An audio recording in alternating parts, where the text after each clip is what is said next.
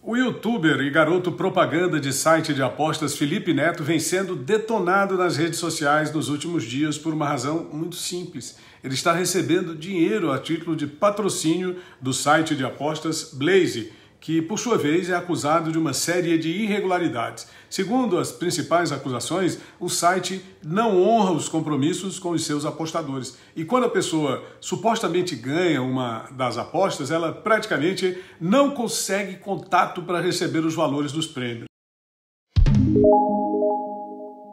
Na prática, a história é a seguinte, pessoal.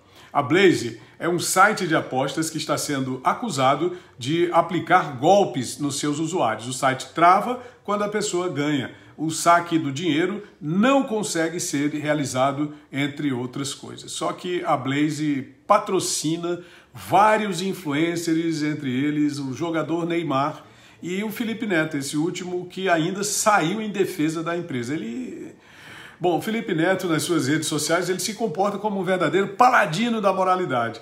Ao contrário, ele já foi flagrado em diversas contradições e até em atitudes que podem ser consideradas criminosas. Bom, eu vou citar aqui o exemplo da época da pandemia em que ele condenava a pessoa a sair de casa quando havia uma determinação das autoridades para que a gente ficasse em casa, ficasse recluso por conta da, da pandemia, ao passo em que ele próprio saía para jogar futebol com seus companheiros, com seus amigos, colocando assim em risco a vida das pessoas, o que era considerado uma atitude criminosa para os decretos, para os padrões daquele momento que se estava vivendo. Oito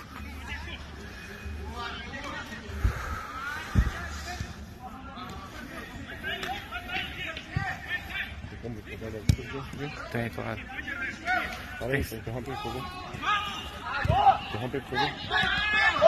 Tá mandando desligar? Tá mandando desligar? Eu pedi você desligar comigo, por favor. Não, se você quer falar comigo, eu tô parando. Hã? Quem é você? Trabalho pra ele. Ah, tá. Polícia, você? Não, trabalho pra ele. Mas por que, que você quer? O que você quer falar comigo?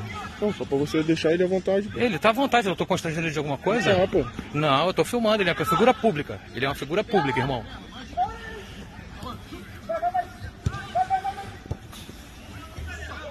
Hoje, dia 28, segunda-feira.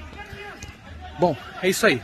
Mesmo assim, ele nunca foi punido e nunca foi nem mesmo criticado como deveria nas próprias redes sociais. Ele também se comporta como um paladino político em defesa da criminalidade representada pelo senhor Luiz Inácio Lula da Silva, que hoje é o suposto presidente da República, na verdade um boquirroto presidencial que foi colocado no Palácio do Planalto numa situação para lá de inusitada. Quer dizer que até hoje muitas pessoas suspeitam da eleição que o conduziu à presidência da República. Ele próprio parece não acreditar.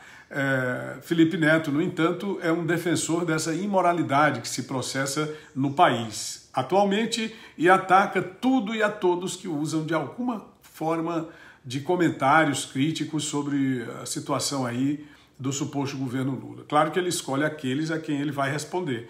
Tudo a todos, entre aspas, porque ele ataca apenas aqueles que ele considera que tenham um número de seguidores para lhe fazer cócegas. Sua atitude é deplorável por várias razões e eu colocaria aqui a primeira delas exatamente porque muita gente, ele tem 40 milhões de seguidores só no YouTube, muita gente segue a sua orientação, muita gente segue os seus conselhos inclusive cegamente, simplesmente ele diz o que as pessoas devem fazer e aí as pessoas vão lá e fazem. Ou seja, quando ele se posiciona como garoto propaganda, recebendo pagamento de uma empresa suspeita de ilegalidades flagrantes, ele está induzindo essas pessoas a cair numa armadilha criminosa. É um ato vil da parte dele. É um ato vil para quem se importa é, com a legalidade e também para um elemento que hoje é o maior influencer do Brasil no YouTube, que já foi inclusive entrevistado ao vivo no programa Jornal Nacional da Rede, da Rede Globo de televisão. Poucas pessoas tiveram essa oportunidade, excetuando candidatos à presidência da República